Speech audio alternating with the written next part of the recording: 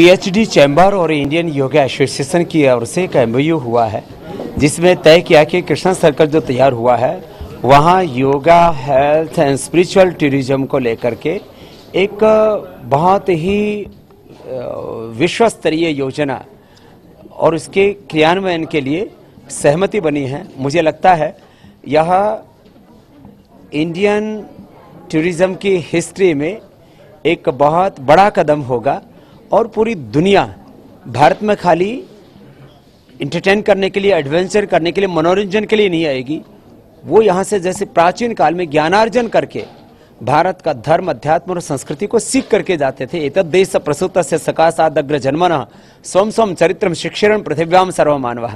वैसी एक सोच, वैसी एक संकल्पना, संकल्प के साथ आज का अभियान शुरू हुआ है। इसका परिणाम अच्छा होगा।